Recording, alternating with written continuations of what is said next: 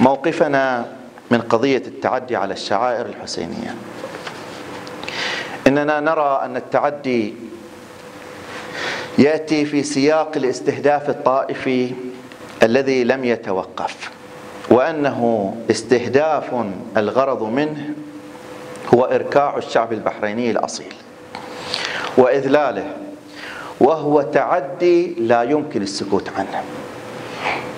وأن شعب البحرين بجميع فئاته وأطيافه مطالب بالرد على هذه التعديات بكل ما أوتوا من إمكانات وقدرات. وأن لا يسمح للسلطة بالتمادي في هذا التعدي وأن السكوت عن هذه التعديات قد يغري السلطة.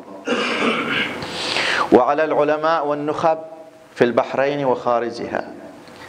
تحمل مسؤولياتهم تجاه هذه القضية.